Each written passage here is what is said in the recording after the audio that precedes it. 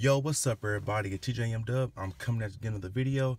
So today we're doing a review of my new radio. This is the Pioneer DEH-X3800 UI. There's the uh name of it right there. I'll go ahead and show you guys. So yeah, man, this is my new radio. Um just got I put I put this in the radio. I mean I put this in the Mustang about um, probably about um, about a month and a half ago, maybe almost two months. I've been driving this car for a minute.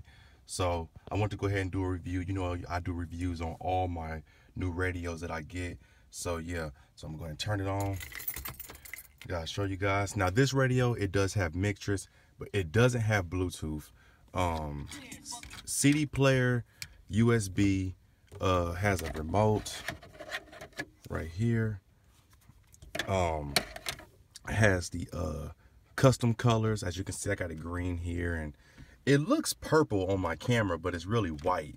Uh, it's the theme of the Mustang. The Mustang, uh, the lights in the car, the integrated lights are green.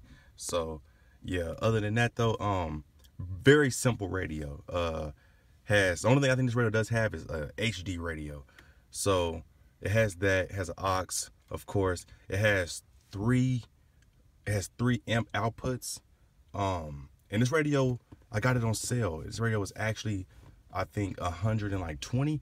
They had it on sale at Best Buy for 59, so I bought that shit quick. Um, but it's a great radio. Um, I really like it. Very simple. Uh, it is very bright, especially at nighttime. Um, it has all the same settings. You know, like you know the regular. I've done like what three Pioneer radio reviews, and then like you know you get the where you can set the um the HPF where you can set basically like the bass in the door speakers, the fader, the the balance, uh, the equalizer, the loudness, um, the subwoofer control, uh, all that stuff, bass boost, everything. Um, so yeah, sounds really good. I'm not gonna play any music like that because you know I don't want no copyright. Um, but yeah, we, you know, like I said, you got the the, uh, the colors, so you can change it. Uh, I don't know if you guys can see it, but yeah, you can change it. I like mine's green and white. I think it looks great but yeah man just wanted to make a quick uh, video on this. This is really simple. Like i can't really give too much of a demonstration. It has the MIXTRAX. Um uh where's that? I have a usb here where all my music in it. I'll show you guys real quick.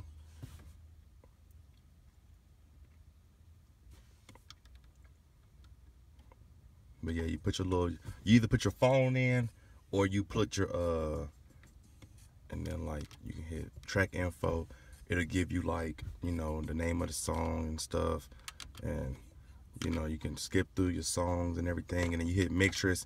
It'll start mixing up the songs for you and everything. Of course you know how MIXTRAX go.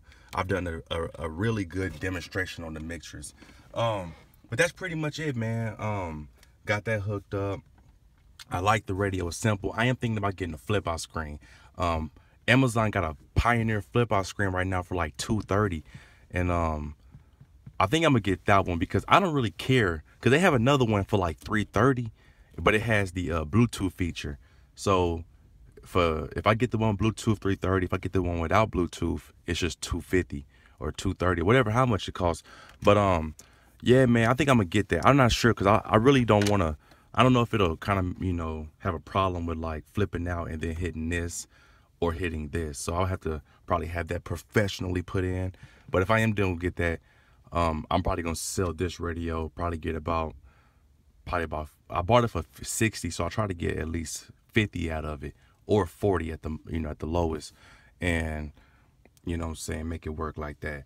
But yeah, man, sorry for not making that many videos. Like I said, just been hella busy.